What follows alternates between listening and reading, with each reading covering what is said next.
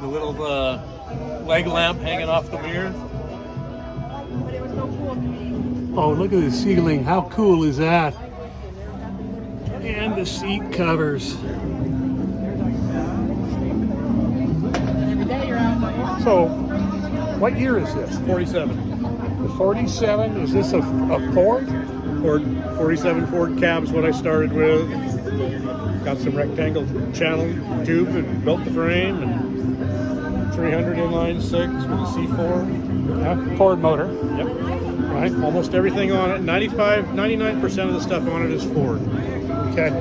I was really liking your your setup here on the fuel tank with the It's Olympia an old. Olympia keg, and I've looked everywhere to find a metal, a steel Olympia can. I ended up buying it off of eBay from Pennsylvania. Yeah, I used to Couldn't collect find one local. beer cans, and I've still got a couple of the, the steel Olympia. I saw that when I first saw it.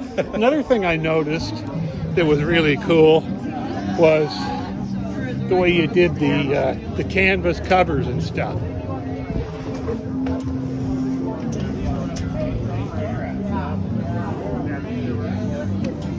They got oak ribs. I've got one of them I left out just because it's getting a little bit tight. But usually there's another oak rib that goes across. And where did you come up with the idea for the track for the rear Well, bumper? I was looking for something for a rear bumper, and I'd seen some other really large chain. And I was telling a couple of my friends that I'd like to find some really big chain.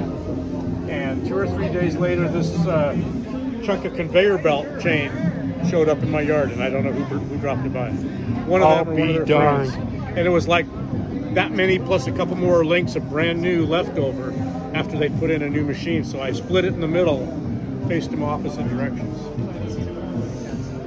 And then your touch on the side with the saw blades.